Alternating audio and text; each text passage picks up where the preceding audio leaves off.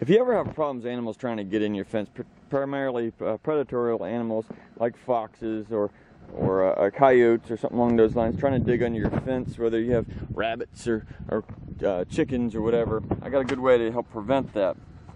Here's just my basic chain link fence, and I took some chicken wire and have it wrapped and it folded at a 90 degree angle right under this piece of wood you can see there.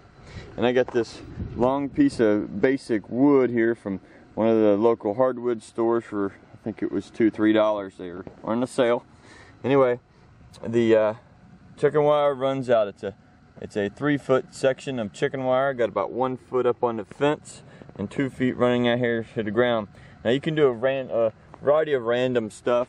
Like I said, I put the the piece of wood there. You can also take large rocks and and put on it. I also had a uh, being a, a, car person, I also had some spare tires.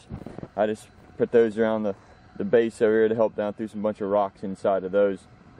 It's also good. Uh, you can take uh, uh, shingles from the top of a house and throw them down and lay them flat across here and then put rocks right on top of those. Here's the fencing from the inside. You can see it's just on just zip tied to it right there in a few places there and there where's it at there? And uh, it's folded at the ground there.